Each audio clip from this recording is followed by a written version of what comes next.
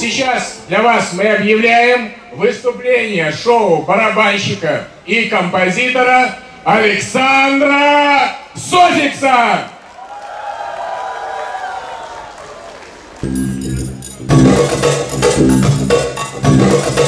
Thank you.